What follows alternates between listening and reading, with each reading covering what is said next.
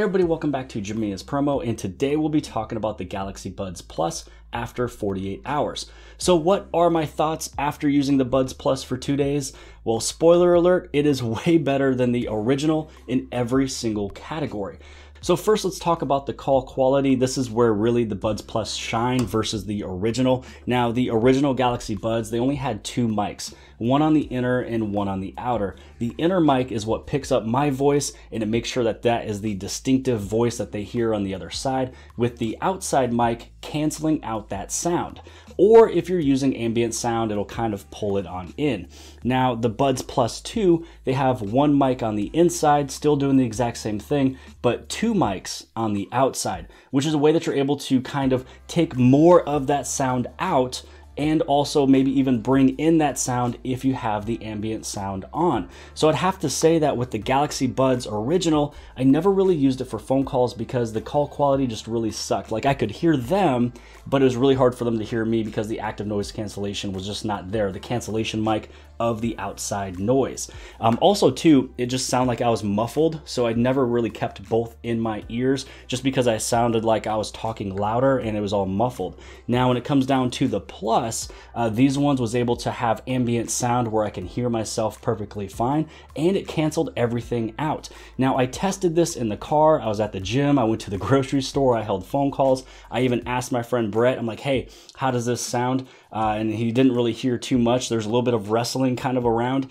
but I was at the gym with five or six different treadmills going. I had the fan that was going on. My breath was also breathing a little bit heavier, and he didn't really know at all that I was at the gym. But when it was the Galaxy Buds original, then it was completely noticed. I take it out every time I'm at the gym if I'm on a phone call and I just use the phone. So I'd have to say, you know, I kind of rambled a little bit, but I wanted to explain it. The call quality is fantastic. And now when it comes down to the sound, when you listen to music, it does such a great job because again, there is actually two speakers inside of the little earpiece um, for the Galaxy Buds Plus. One of them is for subwoofer and the other one is for tweeter.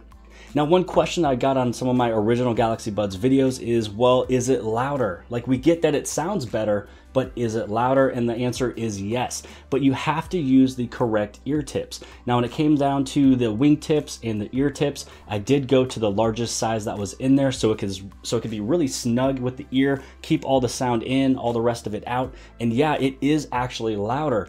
There, uh, with the original Galaxy Buds, it felt like I needed to hit the volume up either one or two more times, but with the Galaxy Buds Plus, it is pretty much perfect. I don't think I need to bring it down, but I also definitely don't need to bring it any higher. Now, another thing I love about it is going to be the battery life. So with the battery life, it is going to be almost double the original Galaxy Buds. The original Galaxy Buds was able to have a, a one charge in the buds going for six hours. Now the Galaxy Buds Plus is 11. So going from six to 11 hours is a pretty big increase.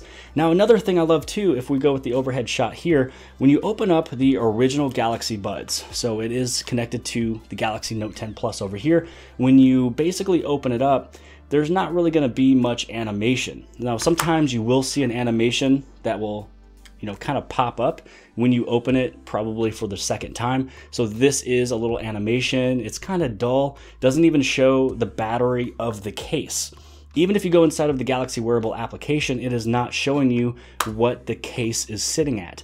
But when it comes over to the Galaxy Buds Plus, the animation of just, you know, opening it up, you can just see how beautiful that is. There's more to it, and you can see the case battery life. So let's say that we go inside of the Galaxy wearable application. This is where you can see each bud and you can also see the case. Now also too, you can see a change with the ambient sound. So if you have it turned on, you can have it low medium, as well as high. Uh, you can either have it on and you can have it off. Now down over here you have six different options for your equalizer. You have normal, bass boost, soft, dynamic, clear, as well as treble boost. Uh, and then you also have, you know, where you can set up your notifications. You can change up the touchpad. You can go underneath advanced and inside of advanced, this is one of the great things you can turn on, which is using the ambient during phone calls. So the original Galaxy Buds does not have that. So you will be muffled. You're not going to really hear everything around you. Uh, you can still find your earbuds and you can even go through the labs Now with the labs, this is also something that is pretty cool. Uh, you can have a gaming mode set up for your Galaxy Buds Plus. You can also add extra high ambient volume if you want it to be just a little bit higher of that ambient sound that is around you. And you can also double tap the earbud edge for the volume. So if you were to tap on the right side twice, right up in the corner, you're gonna bring up the volume. And then a double tap on the left side will bring down the volume, even though your touchpad is set up for something completely different. So I have my right for the ambient sound and the left for voice command. And this one is going to be the touch and hold options. So now if we close this one up over here, I'm gonna get out of that application.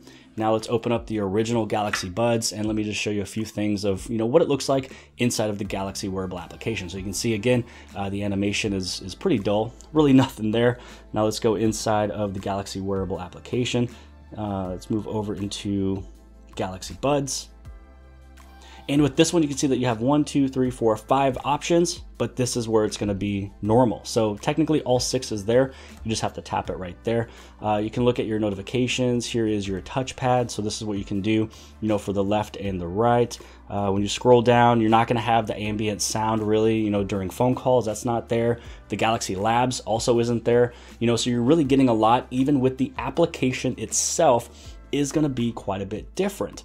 Now another feature to talk about with the Galaxy Buds Plus is the multi-device connection. So right now it is connected to my cell phone and the tablet, but one of the things that I, I don't know if there's gonna be an update for the application or if I'm doing this one correctly, but really the best way I found out where I'd be switching from the cell phone over to the tablet is that let's say that I'm, you know, I'm still connected, we go inside of YouTube, we play this video, and so this is where it's actually coming out of the buds.